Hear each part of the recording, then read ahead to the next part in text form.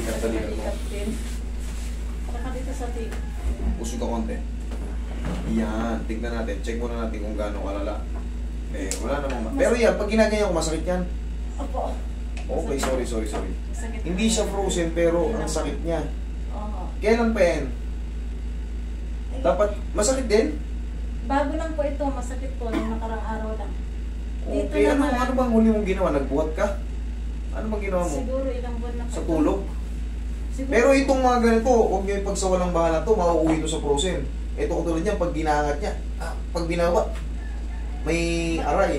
Opo, madali lang mangawit hindi pagka Oo, nag- ayan, bumaba na yan, bumaba na yan. Kailangan to, mauuwi yan sa frozen shoulder pag nagsawalang bahala nyo. Susunod, di ba naangat mo? Pababa ng pababa na yan. Mm, Ah, susunod yan, ayaw mo nang iangat kasi masakit na. masakit ang pagka ano. Oh, sige, baba mo. Madali lang yan. Pag mga ganito nagsisimula pa lang, awatin na kagad natin. Para hindi na lumala. At saka po master ito ayaw ang ano. Ito ayaw. Carpal tunnel syndrome. Okay. Nagkaroon na ng buko, no? Ito, ito sa kabila. Ito, mas malaki ito. Sige. Ganito lang yan, no? Relax na. Mm. Mm. Mm.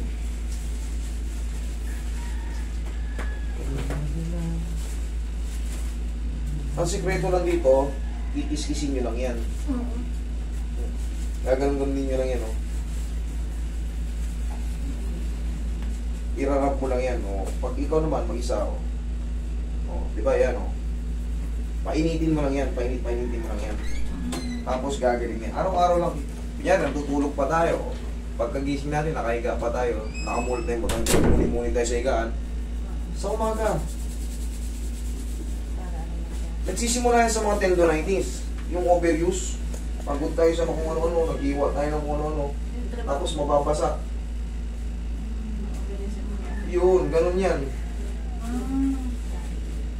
Nakakapagpahinga na ako dito pagbalik ko na. Trabaho na naman. Grabe. Saan ba kayo? Japan. Japan. Tsaka dito, master, tumalag. May bumabalik na ano, lately dyan. Minsan, Sige, nawa. eh, relax lang. Japan.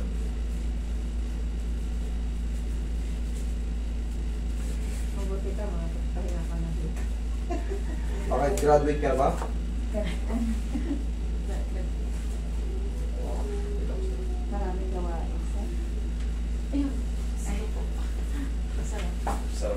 Yan. Malagutok din dito. katulad Dito sa rin yung control niyan pag ano, di ba ito mas masakit? O, yan, yan din ang magtitreat niyo sa inyo. Ang hirap no.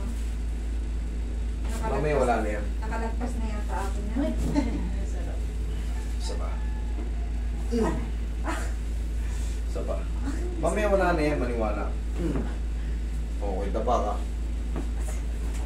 Ah, masakit. Hindi ko nga na, pagka lumiga ako eh, matagal eh. Nagsisimula na kasi yung ano yan, Hindi pwede mag- sa loob. Hindi pwede magtagal mag ano, higa Sa akin lumagpas na, master.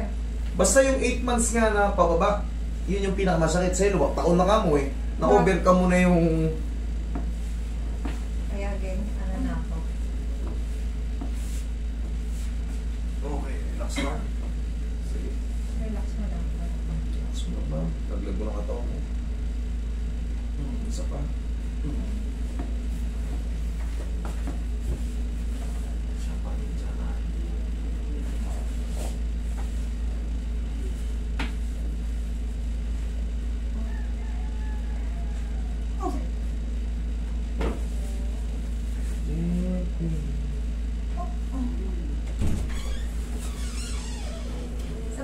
Sa master, minsan nagpaganito rin ako eh, dati sa Fairview.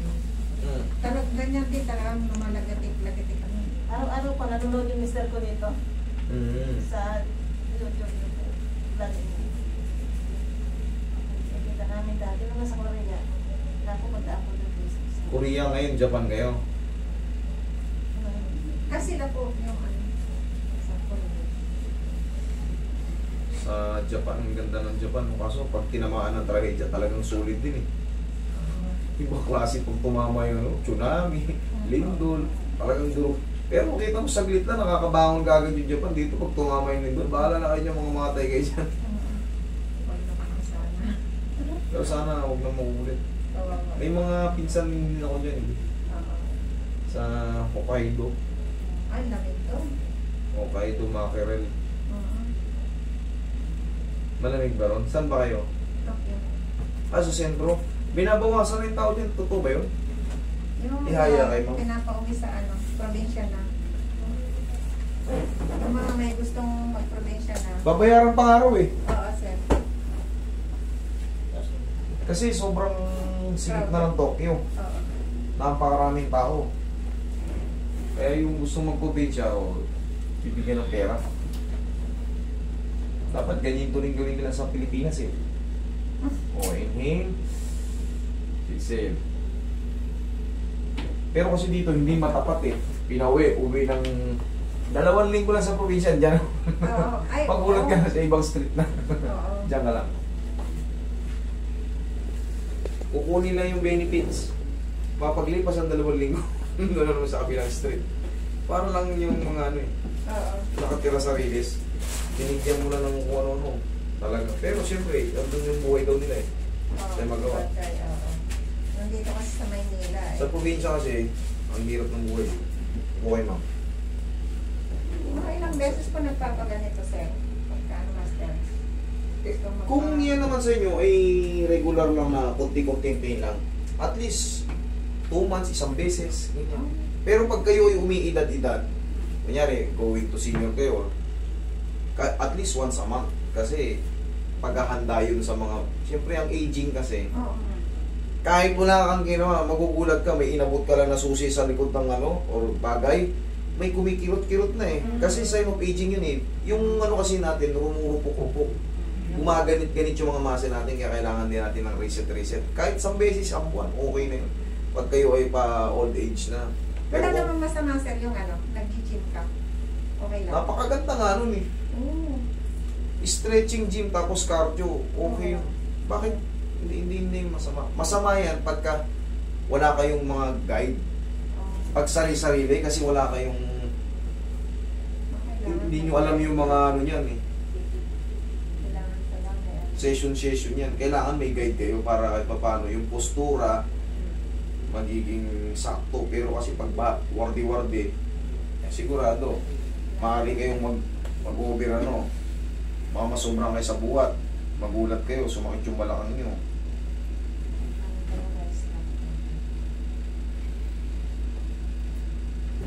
Dali ah.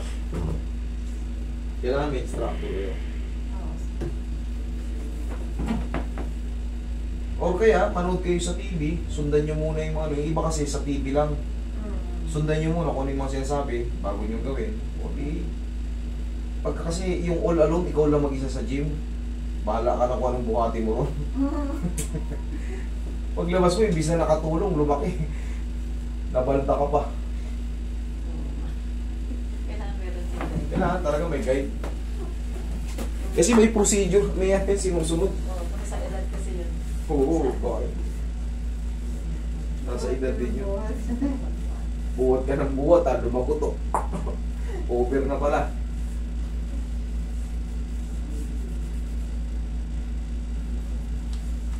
Oy, may iba ka mo, oy.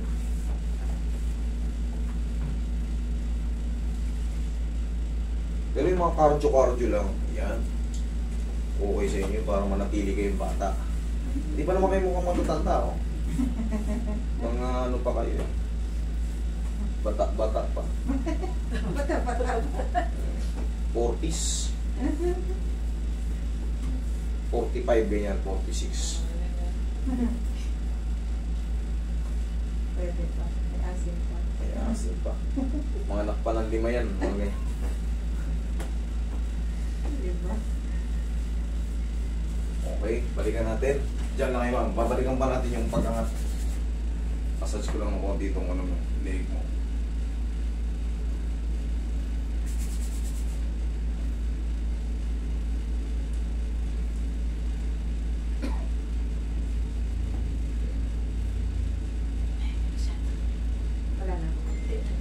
Wala na. Kanina, pag, pag ginasinasagat natin, sumasakit eh. O yan, kahit pa paano, abot mo na yung...